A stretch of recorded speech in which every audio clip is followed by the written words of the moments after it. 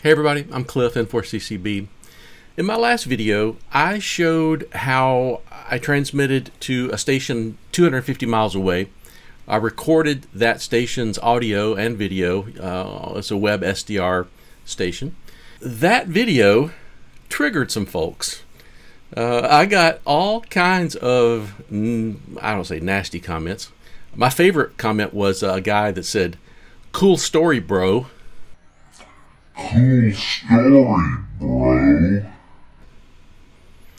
Um, some people said, well, you know, what you just showed was like a best case scenario.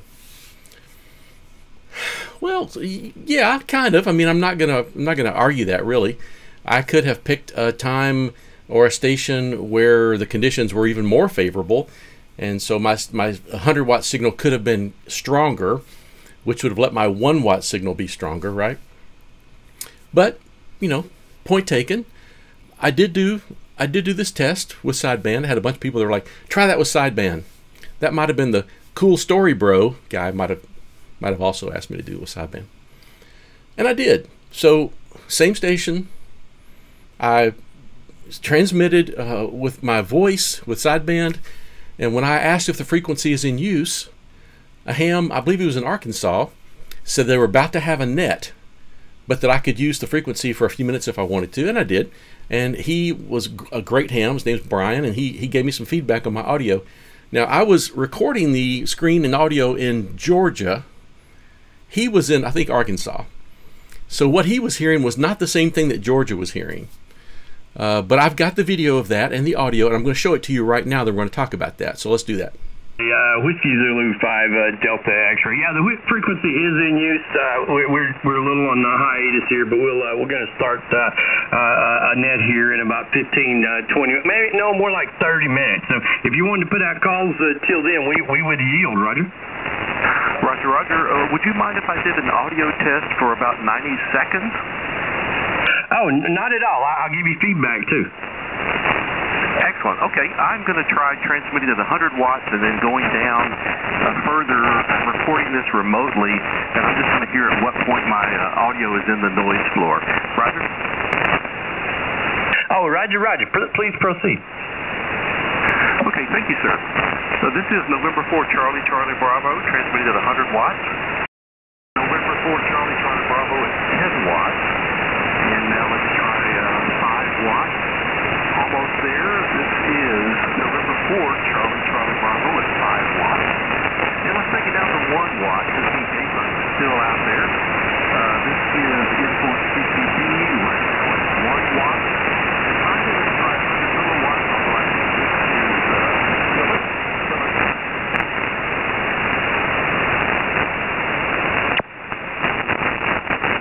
let's power back to 100 watts so that I can uh, let everybody know that I appreciate their patience and letting this test. This is N4 CCB. I am finished, and uh, the station out there, if you have any feedback, appreciate it. Oh, Roger that. In for uh, CCB uh, WZ5DX. Uh, yeah, you know, I, I didn't get down to a voice print till you got down to uh, uh, under 5 watts. I think you said 1 watt. But uh, no, even QRP, um, I had a, a decent signal on you. I, we, I probably lost you about, you know, uh, 1 dB from, from 100 to 25 watts and then started noticeably, uh, you know, hearing more noise and falling down into the noise uh, voice print at under 5 watts. Over. Okay, started out strong at 100 watts. There was some QSB in there. Then, to save time, I trimmed it down to 10 watts and lower.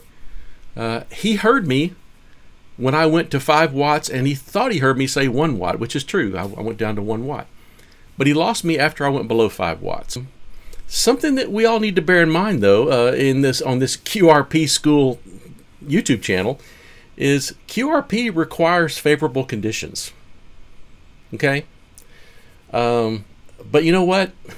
Ham radio requires favorable conditions. Let's say that you got a brand new neighbor and he sees your antennas in the backyard and he walks over and says, "Hey, what's all that?" you know. And uh, and you say, "Well, it's amateur radio." And he's like, "Oh, you mean like shortwave radio? Like can you talk to people around the world on that thing?" and you say, knowing that you're kind of telling a little white lie here, yeah, yeah, I sure can. And the guy says, okay, great. Well, I've got a college roommate who's in Tasmania. Can we go in your house right now and talk to somebody in Tasmania? And then you're like, oh no, this guy thinks I can talk to Tasmania. I've never talked to Tasmania, and I don't know if the conditions are good today. Well, maybe. It doesn't, it's possible, but I'm not sure. Right. Because it requires favorable conditions. If you've got a 1500 watt amp and a multi element beam, and you point that thing at Tasmania right now, you probably can't talk to Tasmania. I mean, you can at times, right? There are times, there are days, but it's it's not a given. It, it's unreliable. So we're just kind of uh, at the whims of the gods of propagation. You never know on any given day where you can talk and where you can't talk. It requires, you know, the ionosphere to cooperate. There are things like maximum usable frequency that come into play. Uh, you know, the D layer, the E layer. You know, there, there are things that you learn when you got your ham license about propagation that come into play here. Just because you've got high power doesn't mean that you can just talk to anybody you want anywhere you want. Yes, you can talk to Ohio right now. 24 hours a day. You can find a band and talk to somebody in Ohio.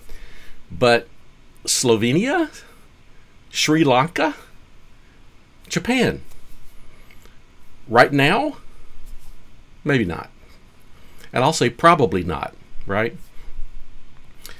And yet, even with low power, there are times when you are favored by the gods and things open up and you can make contacts long distance. You may have seen my video where I talked to a ham in Oregon on 500 milliwatts. And now 1.0, 1.0, and now 1 half a watt, 0.5 watts. Uh, can you hear me at all, Harold? Uh, I heard you at 0.5 watts. 0.5 watts, over. Oh, that's great. Point All right, so could I do that right now?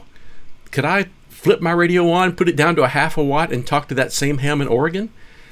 I'm gonna I'm gonna guess that I can not, cannot. That was a special time. Now those special times come fairly frequently, uh, frequently enough that it's that it's fun to to play ham radio. It's not just all uh, uh, failure when you work QRP. There's somebody you can talk to right now with QRP. I promise you. Uh, so, you know, people that have these comments that are like, "That's not a real world scenario." Well, yes, it was real world. I was here in my real world. I transmitted 100 watts to a real world station that's 250 miles away, and what you heard is exactly what I sounded like. And as I turned it down, I sounded like that. Okay? So, no, it's not making multiple hops across the ocean. Uh, didn't try that. Uh, however, uh, if you saw my video uh, about making uh, contacts during a, a, a contest, I made 11 contacts using, well, it's not within reach, but a little a little um, mountain topper radio uh, with an 11 excuse me 11 volt battery. I think I was putting out about maybe two and a half three watts, and of the 11 stations that I videoed me contacting, eight of them were 5,000 plus miles away. Okay, could I go out right now and and contact eight out of 11 stations that are 5,000 miles away? I'm guessing that I can not. Cannot. Can't do that. That was a special day. It was during a contest and propagation was good.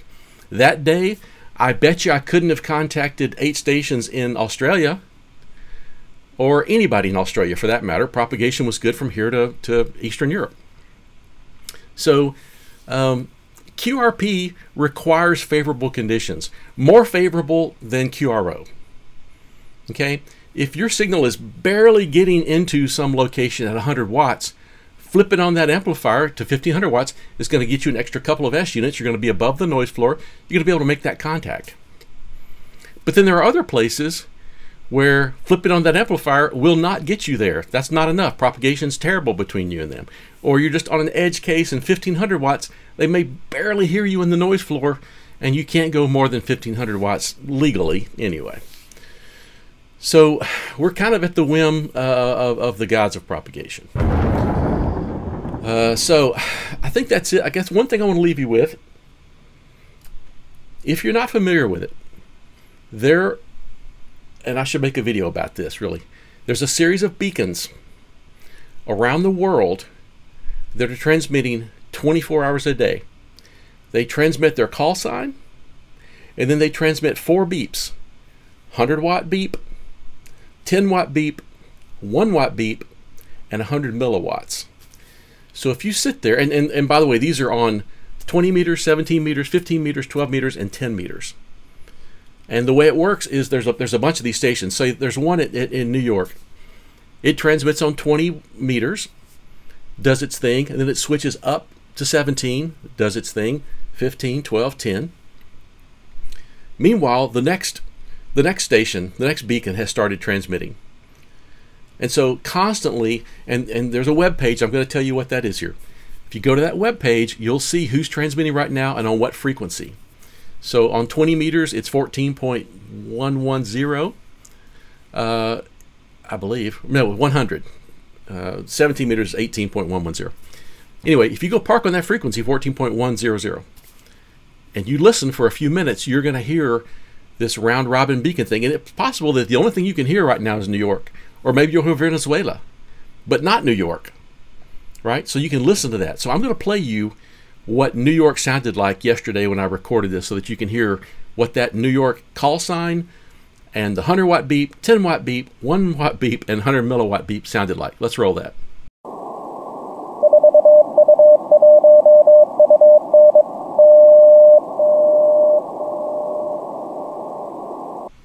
Okay, that was a strong 100 watt signal to New York. That means that I could easily have worked New York yesterday QRP at one watt, even. Right? You could hear the one watt beep.